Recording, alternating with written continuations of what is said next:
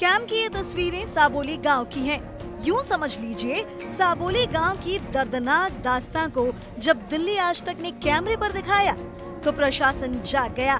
और यहाँ न सिर्फ़ हेल्थ कैंप लगाकर कैंसर के मरीजों की जाँच की जा रही है, बल्कि इस गाँव के नलों से निकलने वाली पानी की भी जाँच की जा रही है।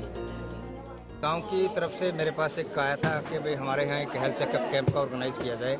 तो मुझे अच्छा लगा कि यहाँ कई बार अखबारों में मीडिया में कुछ ऐसे आ रहे थे कि यहाँ पे केसेस कैंसर के ज़्यादा हैं, कुछ और बीमारियाँ हैं स्किन के ज़्यादा हैं। तो उसको ध्यान में रखते हुए मैंने कहा कि क्यों ना हमारी एक हेल्थ टीम जो सारे मेरे पास स्पेशलिस्ट है, उनको लेकर के मैं यहाँ पर के आज टीम का ऑर्गेनाइज़ किया कि यहाँ एक हेल्थ कैंप लगे, जिसमें मेरे पास सीनियर फिजिशियन हैं, मेरे पास सर्जन है और मेरे पास स्किन स्पेशलिस्ट है और कैंसर स्पेशलिस्ट है और गायनेकोलॉजिस्ट है। ये सारी टीम सर, ये हालाँकि प्रशासन हरकत में तो आ चुका है और साबोली गाँव में कैंप का आयोजन भी हो चुका है। लेकिन अभी तक उन फैक्ट्रियों पर कोई एक्शन नहीं लिया गया है जिनसे निकलने वाले केमिकल्स ने गाँव के लोगों को जानलेवा बीमारी तक पहुँचाया है।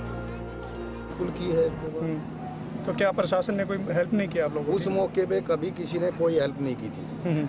अब जाके जब से हमारा ये मुद्दा थोड़ा जो हाईलाइट हुआ है वह एक्चुअली हमारी फाइट पोल्यूशन के खिलाफ ही है। ठीक है ना?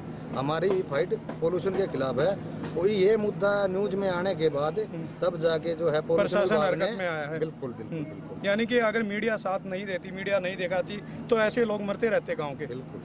ठीक से बताए गए हमारे हैं। हमारे अंडर कम से कम दस गाँव आते हैं और हमारे गाँव के जो आसपास का पानी है वो बिल्कुल ख़राब हो चुका है। फैक्ट्रियाँ हैं वो जो है वो अपनी मनमानियाँ कर रहे हैं मालिक। जो पानी वाटर ट्रीटमेंट का प्लांट लगना चाहिए वो नहीं लगा के नीचे बोरवेल कर रहे हैं जिससे हमारे आसपास के गाँव का पानी ख़राब हो चुका है। और हमारे कैंसर के मरीज़ बढ़ते जा रहे हैं लेकिन जितने मरीज़ थे उतने नहीं है लेकिन लेकिन अगर ऐसा ही रहा पानी खराब रहा तो हमारे गाँव में ऐसा तीसरा व्यक्ति हो सकता है कैंसर का पीड़ित तो इसके ऊपर क्या प्रशासन को कहीं ना कहीं ध्यान देना चाहिए इसको? प्रशासन इतना अलर्ट होगा कि आज हमारे आप देख सकते हैं हमारे गाँव में आज स्वास्थ्य जाँच शिविर लगा है और सीएमओ सर भी आए हैं और आज चार बजे का टाइम है डीसी सर भी आएँगे।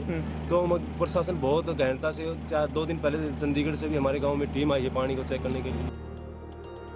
नियम तो यही कहते हैं कि अगर किसी केमिकल फैक्ट्री से जहरीला पानी निकलता है तो फिर उसे वाटर ट्रीटमेंट प्लांट के ज़रिए ट्रीट करने के बाद ही ज़मीन में छोड़ा जाना चाहिए लेकिन गाँव के लोगों का आरोप है कि साबोली में ज़्यादातर फैक्ट्रियाँ पानी को बिना ट्रीट किए ही बोरवेल के ज़रिए ज़मीन में पहुँचा रही हैं। साबोली गाँव से राजेश खत्री के साथ ब्यूरो रिपोर्ट, दिल्ली आज तक दिल्ली तक के वीडियोस को देखने के लिए चैनल सब्सक्राइब करें और बेल आइकन का बटन दबाएँ।